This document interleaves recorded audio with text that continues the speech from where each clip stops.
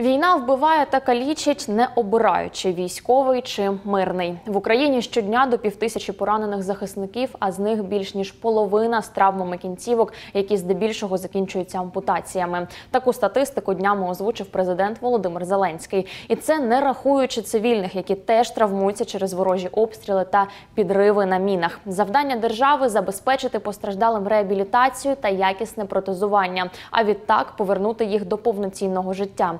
І робити це ефективно можна не за кордоном, а в Україні. Для цього треба підняти вітчизняні технології на якісно новий рівень. Про нові можливості для української протезувальної галузі у наступному сюжеті. – 27-річний військовослужбовець ЗСУ Павло Воловик крокує впевнено, хоча замість правої ноги у нього протез. Ногу втратив у квітні 2020-го на Луганщині, коли під час обходу позицій потрапив під мінометний обстріл. Я купив собі нові берці, дуже дорогі і класні. І я собі сказав, блін, капець, були нові лови класні. Ось, ну вони лишились десь на дереві. Більш ніж півроку лікарні, ампутація, реабілітація. Павло каже, найбільше хотів знов відчути радість руху. Або милиці, або встав і пішов. Е, ну я прийняв для себе рішення, встав і пішов. З тих пір до протезу призвичаївся. Та взагалі без питань. Ну, навіть на праві можу. Навіть бере участь у міжнародних змаганнях ігри воїнів, ба більше про свою штучну ногу не скиглить, а жартує. Стираєш вже тепер один носок, да? там права нога ніколи не мерзне. Там. Типу, п'ятка не чухається, ну можна так сказати. Протез встановлювали Павлові в Україні. Говорить, не бачив сенсу їхати за кордон вдома і дешевше, і результат бажаний. Запчастини за кордону, все решта роблять наші. Ну, я скажу, що дуже толково. От я вже другий рік ходжу і взагалі питань немає. Це десь ну, от в районі 300 тисяч коштує мій протез. Це зі всіма складовими. Таку штучну ногу теж здатні зробити. Гарантують на протезно-ортопедичному підприємстві у Дніпрі. Воно спеціалізується на протезуванні та реабілітації людей, які втратили кінцівки більш ніж 70 років. Протези робота ручна. Кожен виготовляють індивідуально. Мають значення вік, вага та спосіб життя людини. Тож спершу гіпсовий зліпок. который повторит полностью нашу ножку. Отмечаем зоны, которые можно нагружать, а которые нужно разгрузить. Далі зліпок моделюють. От нас зависит, как будет человек ходить, удобно ему или неудобно. Если я тут нам не намажу, ему будет косточку давить. Если тут гребень не продлю, тоже будет давить. Тепер черга куксоприймача. Мягкий вклад для того, чтобы плеча мягко, мягко было. Потім штучну кінцівку збирають докупи. Основные узлы это мы до колена должны ему выставить и выше колена до бедра. Вот эта вот часть должна быть человека, чтобы не гнуло ему позвонок. Пристрій державним коштом. Вартість залежить від комплектації протезу та мобільності людини. протез э, бедра, ну, от, от бедра, на наше предприятие стоит где-то порядка 200 тысяч. Это, я говорю, четвертая группа мобильности, это высококлассных комплектующих, это самые современные вот, комплектующие на сегодняшний день.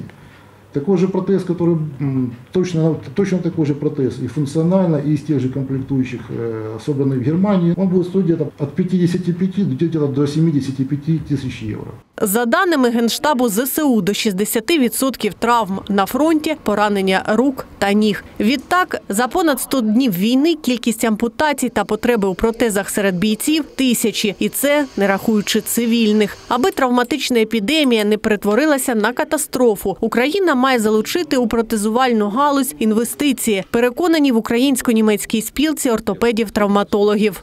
Зараз е, спілкування йде з нашими іноземцями. Що нам потрібно? Нам потрібно такі, такі, такі сучасні станки, такі, такі, такі сучасні вузли тертя. Дехто скаже, що за це треба платити. Ну, це буде е, коштувати набагато менше, ніж відправляти туди постраждалого. Ми отримуємо станок, котрий нам виготовив ці запчастини, котрі нам потрібні, на 50-60 чоловік. Розумно, розумно. І Держава мусить про це думати. Світові напрацювання помножені на український досвід, виробництво новітніх комплектуючих та осучаснення технологій. Запровадженню такої моделі готовий сприяти і благодійний фонд майбутнє, який з початку війни зосередився на програмах гуманітарної допомоги. Там упевнені, Україна дотепна зробити протезування якомога доступнішим. Дивимося про те, щоб залучити е, е, партнерів з технологіями. Там у нас є зараз проговори в е, Германії, є е, Швейцарія, є інші країни, щоб взяти ну, нові нормальні технології. І тут в рамках е, державного приватного партнерства виробляти якісні протези, які б вже коштували там не 30 тисяч євро, а там 5 тисяч євро. Ну, дешевше.